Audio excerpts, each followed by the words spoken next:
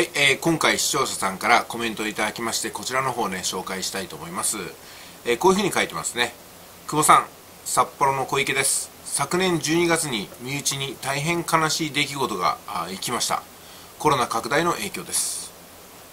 今全国民は一昨年より今年は自殺者が増えると思いますね、えー、久保さんどう思いますか？ということですけども。自殺者ね私も増えるんじゃないかなと思うんですよ。ただ自殺者が増えるというふうな表現をあまりしすぎると、まあ、本当にねあの言ったことっていうのが実現しちゃう可能性が非常に高いんで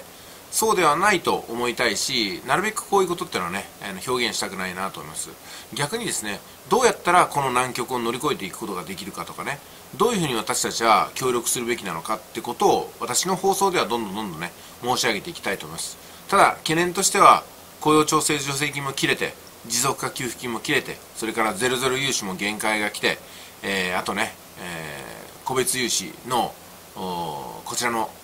限界も120万でしょ最大で。120万っていうとね切り詰めても1年過ごすのが限度だと思うんですよ、うん。まあ、そうなると生きていくためのお金がないってことになっちゃうのかなと思います、まあ、私としてはですねお金がなくても2年間あのホームレスとして生きてきた経験があるんで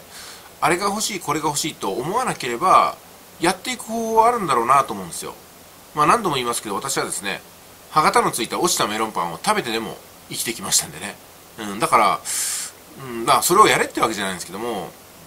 まあ、生きていくことがこの日本でできないことはないと思うんですがただ残念なことにね人間ってのは衣食住だけでやっているわけじゃなくて希望とかね、うん、愛情とか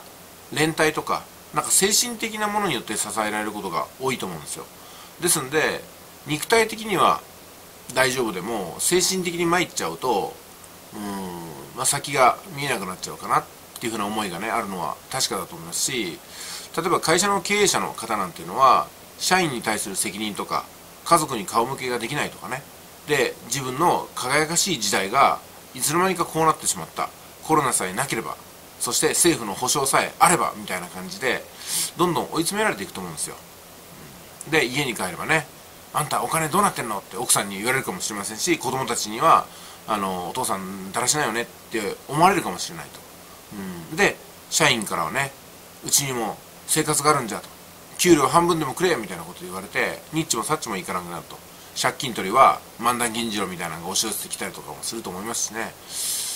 だからそう考えるとね本当にたまれないものがありますしすでに私の視聴者の中でも、うんまあ、ちょっと残念なあ経緯を綴っていらっしゃった方もおりますんでね、うん、まあさすがに8万人の雇用消滅とか10万人規模の、うんまあ、転職希望者が出たとかね。いろんなことを鑑みると、まあ、これから本当にますます厳しい世の中になるんだろうなと思いますしその中では恨み節があったりね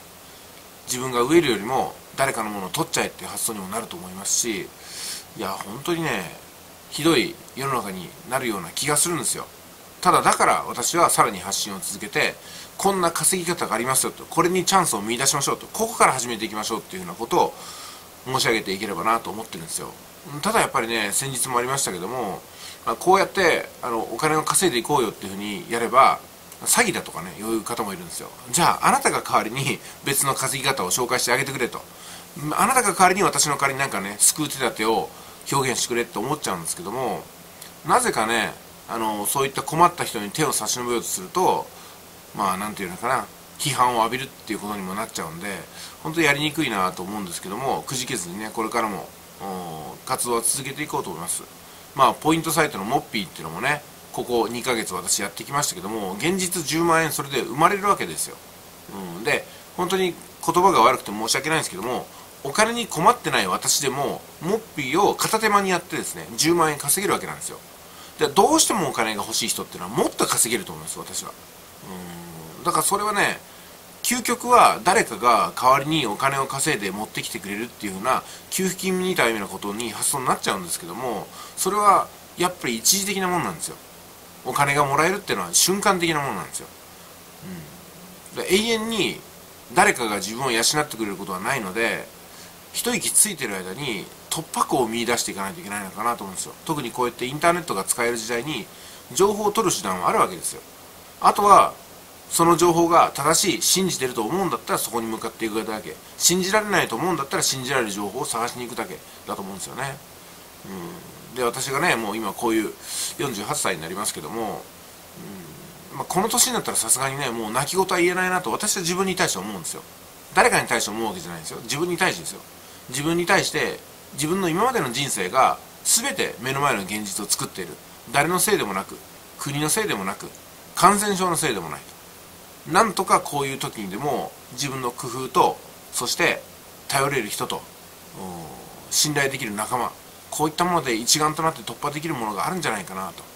と。そしてどちらかというと私はどこでも、えー、リーダーという立場にいましたんで私が何か事を起こすことをねみんな期待してるんじゃないかなと思うわけなんですよ、まあ、ですのでいつも、うん、言い出しっぺやり出しっぺ最終的な責任を取ると。俺が責任を取るからやってみろみたいな精神になるんですよね、うん、まあみんなにそうなれってわけじゃないですけども少なくとも私は問題解決をいつも自分の内側に置いてるかなってところなんですよ。そしてどうにもならなかったら正々堂々と破綻してやろうかなと思いますしそしてその破綻の中からねまたゼロから掘り起こして復活する姿も今までと同じく見せていきたいなと思うわけですよ、まあ、私も今までねあの明るい人生だったばっかりではありませんからね。ただ自分の弱さとか痛みに鈍感なだけだったんですよ。自分の状況にね気づくのがものすごく遅いというか、まあ、だから救われたのかなと思います。要するに自分の人生にあんまり真剣じゃないんですよ。本当に真剣に真面目に考えると絶望して下手ってなっちゃうんでなんかね客観的に面白い人生だなと思ってるだけなんですよね。でいい時もあれば悪い時もあると。悪い時は続かないしいい時も続かないと。そういう覚悟をしてるかなってとこですね。まあでもね本当に難しい状況を抱えていらっしゃる方多いと思います、うん、せめてね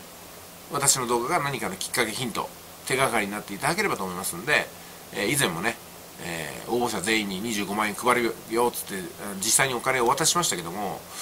あのそういうことをこれからやるとは限りませんけどもね。だけども何かねうん皆さんの生きるきっかけヒント情報こういったものが提供できればと思っております。で、えー、特別定額給付金っていうのははっきり言って私はずっと言いますけどもね期待できないと思います。出ないと思います。ねこれはね私ね給付金が出るかもしれない出るかもしれないっていうふうに煽ってる動画とは違いますから。出ないという前提で申し上げてるんですよ。いつも言いますけど出ないよと。だからどうするなんですよ。だから出ないというふうに方向性がなってるんでそんなこと言わずに何とかしてくれよっていうふうなあ出ないを出るに変えるために集まりませんかっていう活動ですからね。だからダメ元でやってみようっていう活動ですからね。あもしかしたら出るかもしれないよと。次の動画ではどこかで出るか教えますよみたいなそういうのではないですからね、まあ、中にはねあのそうやって視聴者を募ってんじゃないか集めてんじゃないかみたいなことを言ってくださる方もいますけども私が視聴者さんを集めてるのは一致団結して石頭の菅政権に金を出すよっていう風な道義をみんなで起こせないかなと思うからなんですよ。まあ繰り返しますけどもこんなあ形で、えー、特別定額給付金出ないなんて言わないでよっていうことを言い続けたい人の集まりで私の動画っていうのはできてると思っていただければと思います、うん、なんかね可能性がゼロでもそれを1%に変えていくことっていうのはできるんじゃないかなと思うんですけどね。いかがなもんでしょうか。それでは失礼します。